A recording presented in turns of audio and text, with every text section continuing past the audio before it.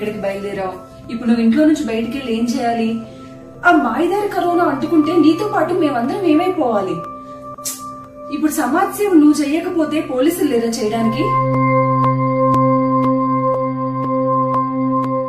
అనయ్య ఏంటి? Medical shop దగ్గర ఉన్నావా? ఆ మెడికల్ షాప్ కూడా మనోడే కదా. ఆ ఎన్ నైన్టీ ఫైవ్ మాస్క్లో పది ఇరవై తీసుకొచ్చి ఇంట్లో పాడే. పడుంటాయి అసలుకే డాక్టర్లు మాస్కులు లేవని కాల్ చేస్తున్నారు. మాస్క్ వేసుకుని సోషల్ మీడియాలో సెల్ఫీలు పెట్టామనుకో లైక్లు కామెంట్లు కుమ్మేస్తాయి. అయినా మనం మన ఫ్యామిలీ బాగుంటే చాలన్నా సరిపోద్ది.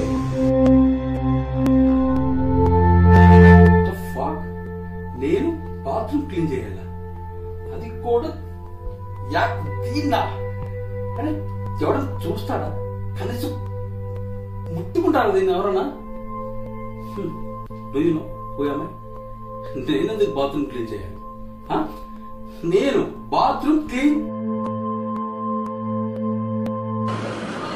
అమ్మయ్యా ఫుల్గా షాపింగ్ చేసేసానండి. అవసరం ఉన్నా లేకపోయినా బోల్డన్ని సరుకులు కొనేసి ఇంట్లో పెట్టేశా. అండ్ ఇంకొక సీక్రెట్ ఏంటో చెప్పనా నేను పోలీసుల కళ్ళు కప్పేసి సార్ షాపింగ్ సార్ అవసరమైన వస్తువుల కోసం షాపింగ్ కోసం వచ్చాము అని చెప్పేసి ఎన్ని సరుకులు కొన్నాను అనుకుంటున్నారు? ఇంకా టూ మంత్స్ కంటిన్యూ అయినా కూడా మా ఇంట్లో బోలెడన్ని సరుకులు ఉన్నాయి అనుకోండి అండ్ ఇంకో సీక్రెట్ ఏంటో చెప్పనా? ఇప్పుడు ఈ భోజనం ఫినిష్ చేసి హ్యాపీగా మళ్ళీ షాపింగ్కి వెళ్తానండి. అవును మీ ఆలోచన నిజమే.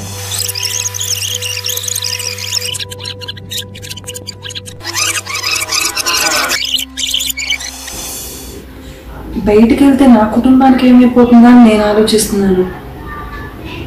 పోలీసులకి ఒక కుటుంబం ఉంటుంది కదా. వాళ్ళు కూడా ఇలాగే ఆలోచిస్తే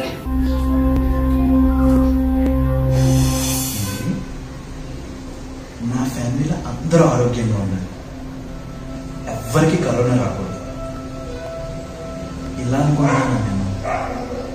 ఇంతే స్వార్థంగా డాక్టర్లు కూడా ఉంటే మనందరి పరిస్థితి ఏంటి?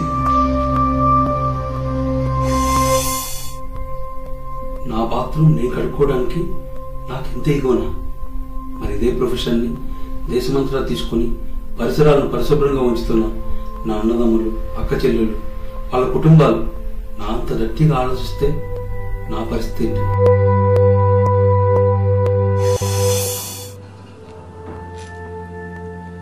సూపర్ మార్కెట్కి సరుకులు వచ్చాయని చెప్పేసి ఈ లాక్డౌన్ టైంలో అవసరం ఉన్నా లేకపోయినా అన్నీ కొనేస్తున్నాను. అంటే నా స్వార్థంతో అవసరం ఉన్న వాళ్ళకి అవైలబుల్గా లేకుండా నా ఇంట్లో పెట్టుకుంటున్నానా? మరి ఇలాగే రైతులు కూడా ఈ సరుకులు నా కుటుంబానికే చెందాలి అని ఆలోచిస్తే మిగతా వాళ్ళకి తిండి పెట్టేదెవరు? పోలీసులు డాక్టర్లు పారిశుద్ధ కార్మికులు ప్రతి క్షణం కనిపించని శత్రువుతో పోరాటం చేస్తున్నారు. వారితో పాటు వారి కుటుంబ సభ్యులకు కూడా రిస్క్ ఉందని తెలిసినా మీకోసం నా కోసం మనందరి కోసం యుద్ధమే చేస్తున్నారు. వారి కుటుంబ సభ్యులు వారికి వీర తిలకం దిద్ది మన సంరక్షణ కోసం బయటకి పంపిస్తున్నారు. మీలా ఏ ఒక్క కుటుంబం ఆలోచించి ఉన్నా నిజంగా ఈరోజు పరిస్థితి ఎలా ఉండేదో అస్సలు ఊహించుకోలేం. అందుకే ఈ విపత్కర పరిస్థితుల్లోనే కాదు ఎప్పటికీ వారిని వారి కుటుంబ సభ్యుల్ని మనం గౌరవించుకోవాలి.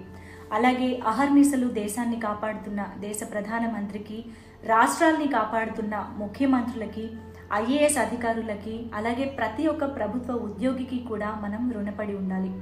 వారందరికీ మనం చెప్పే థ్యాంక్స్. జై హింద్. నేను నమ్ముతున్నాను నేను